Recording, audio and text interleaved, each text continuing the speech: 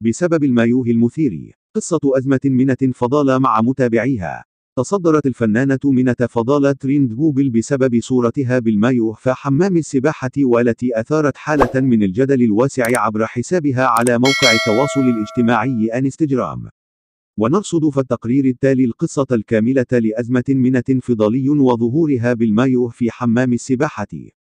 بداية أزمة منة فضالة. نشرت الفنانة منة فضالي صورة جديدة لها عبر صفحتها الخاصة على موقع التواصل الاجتماعي فيسبوك وظهرت في الصورة مرتدية مايوه باللون الأسود وكانت تجلس أمام حمام السباحة مرتدية نظارة وشعرها منسدلا على كتفيها.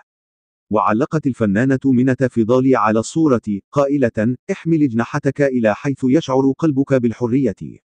وتلقت منة فضالي هجوم شرس من قبل متابعيها على الصورة حيث عبر البعض عن استيائهم بطريقة مبالغ فيها وغير مقبولة حيث تجاوز البعض في ردوده وتعليقاته على الصورة وهو ما اغضب منة فضالي رد قوام منة فضالي. واجهت الفنانة منة فضالي انتقادات كثيرة وتعليقات سلبية من رواد السوشيال ميديا أثارت غضبها بعد مشاركتها صورة لها بالمايوه من داخل حمام السباحة عبر حسابها الشخصي على موقع التواصل الاجتماعي انستجرام وظهرت في الصورة مرتدية مايوه باللون الأسود وكانت تجلس أمام حمام السباحة مرتدية نظارة وشعرها منسدلا على كتفيها.